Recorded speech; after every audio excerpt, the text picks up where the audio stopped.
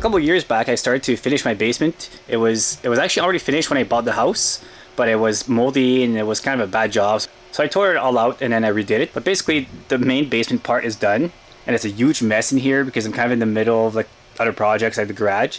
So like a lot of the stuff you see behind me actually goes in the garage, and overall I just need to reorganize everything. Now this is a split level house, so it's basically half basement. So the part you see around me is all basement and then there's a server room as well, which I made a video of. So that's the servers. And then there's also a crawl space right here. So right behind me, that's this crawl space. And then on the other side, and then crawl space. Yeah, so this is a laundry room. So this is my main panel that comes in. So I kind of messed up here when I did the insulation. Well, obviously I didn't do the insulation, but I did the plumbing. And I realized after that because of putting the plumbing inside the walls, I can't really insulate properly. So it's better to have the plumbing on the outside, on the warm side. So I'm going to be redoing that at some point. So the insulation actually stops on that side. But today what we're going to be doing is I want to finish insulating the crawl space. So this is a crawl space over here. So I, I started that many, quite a few years ago actually. I kind of neglected this project. And it's a huge mess under here. Like It makes it look like I'm a hoarder just seeing all the stuff. Like You can't even see half the stuff because it's hidden by more stuff. That's how bad it is. I do need to do a cleanup. Like I have old paint cans. A lot of it is expired. I didn't realize what paint actually does expire. So most of that is going to be going in garbage. I got these pipes here. Those go to the garage. So that's where I'll be running the electrical, the data, and I can actually run two PEX lines in one of those. So I'll be doing heat, liquid hot water as well. And then the rim joists are already insulated. I spray foamed them a while back. And now something cool about this house too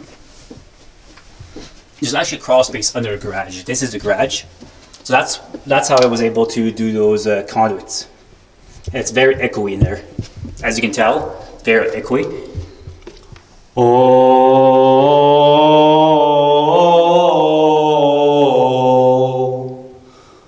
oh,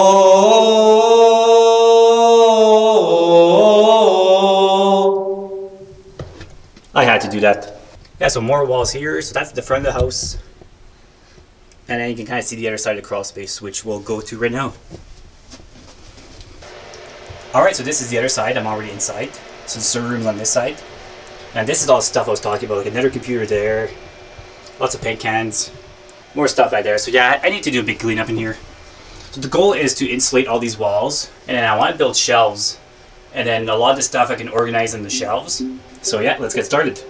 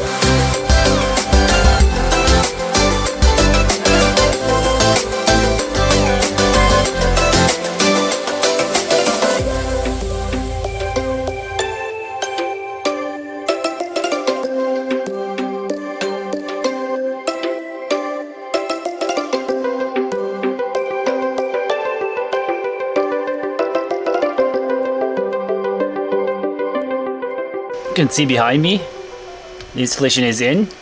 Now I just have the other side to do. And once that's done, I'm gonna have to put in the vapor barrier and then I should be good to drywall or I might just leave it like that. Yeah, so here's a better view of the work.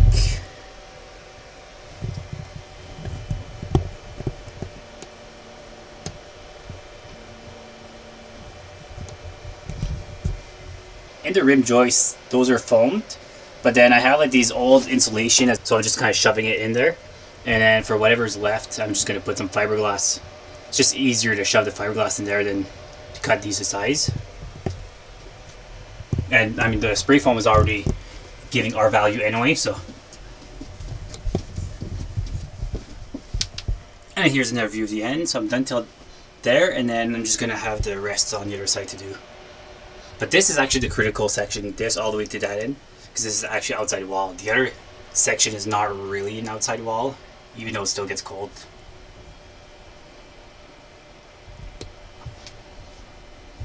Alright, so let's get started on this side. Yeah, so what I'm going to do is I'm going to start here. Going to work my way all the way to these pipes. I'll skip this one for now, because I still have some work to do here. And then I'll do this wall, and then hopefully I can go through a couple of those bags. And then I'll be able to get to the other end and then do that one. So it shouldn't take too long, so I'll get started on that. And also I need to put a 2x4 just up there for the header, and then I'll insulate the top part too. And then at some point I'm going to make like a trap door there. That's a project for another time.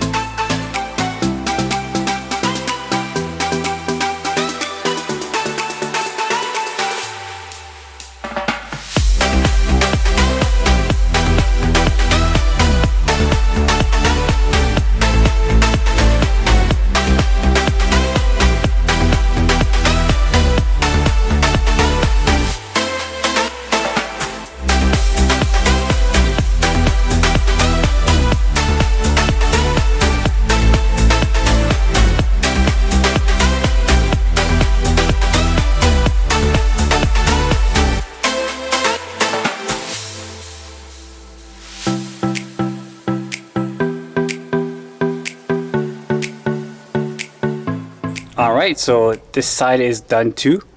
You can probably hear an echo from the crawl space, it's very echoey there. Yeah, so this side is all done, all the way to the end. And then this side is all done as well. The only thing missing is where the pipes come out from the garage. And I need to fasten those better. So the next step is to put in the vapor barrier. Well, after I'm done the pipes, that is. So once the pipes are done, then I just need to do the vapor barrier. So uh, basically it's to put the acoustic sealant in a tape and staple it and then I'll be fully insulated. Now the vapor barrier is actually really important because with just insulation alone, insulation isn't airtight, so air can still pass through. With the vapor barrier, it seals it really nice and then it prevents the drafts from coming in. So yeah, that'll be the next step.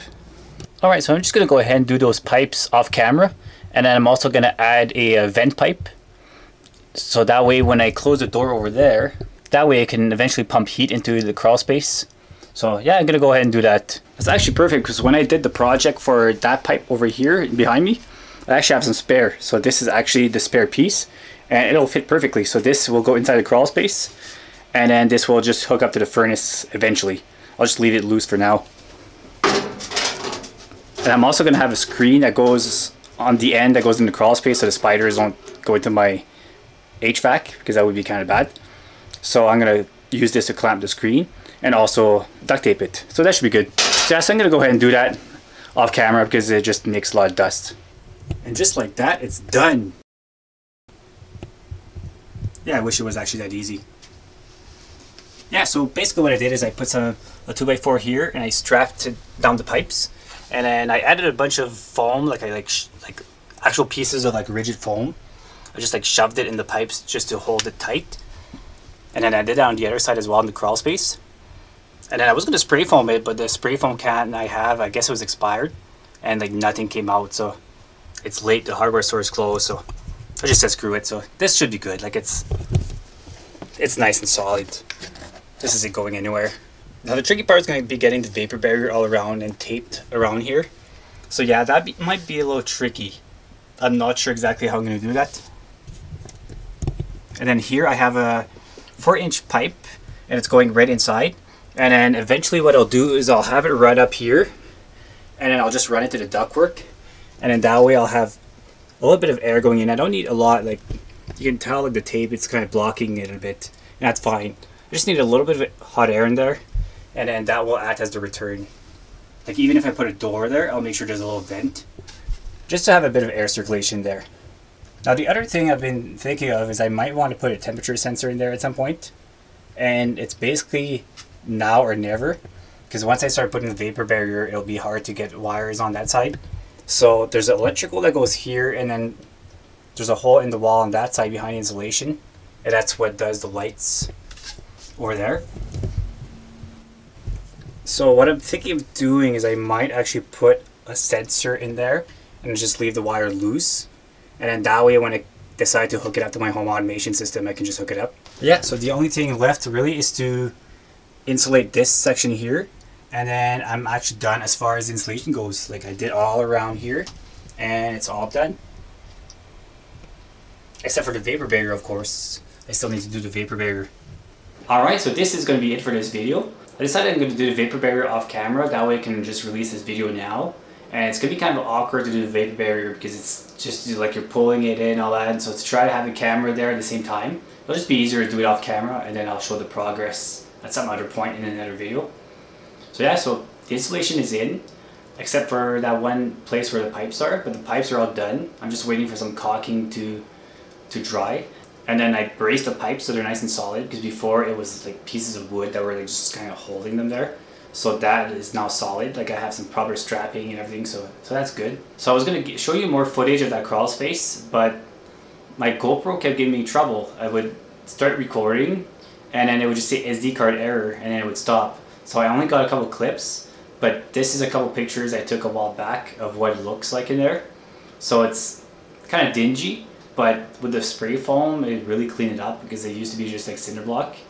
And then this is what it used to look like before, like when I bought the house. Yeah, just check out those spider webs. And believe it or not, I actually have a phobia of spider webs. Like, spiders don't really bother me, but spider webs do. Like, I don't know, the way they feel just icky, and you know, if it touches, like, uh, it's like a weird phobia. Like, you hear people are like scared of pickles or like really weird phobias like that. Well, spider webs, that's mine yeah, so it was quite the experience to go inside the crawl space. I had like a really long pole. It was actually from like the curtains for like the front window, so like it extended like over 10 feet. And I just kind of went in there and I just kind of moved my way. I had the shop vac. The lighting that you see there is actually, I installed that myself because I figured that anytime I go in there, it's nice to have lights. And like today, and even when I installed those conduits, like all those little jobs that I did, it was very handy to have those lights at some point I actually need to find a use for that crawl space because it is kind of a, like a neat area. And now that I'm like vapor barrieing and all that, I'm probably not really gonna get spiders in there anyway. Like, like last summer when I went in there for the first time in years, it was only like the odd web here and there. It wasn't crazy, so it could make like a nice wine cellar or something. But yeah, anyway, so long story short, the crawl space is now insulated and the next step is the vapor barrier. So this is it for this video and thanks for watching. Mm-hmm. Bye.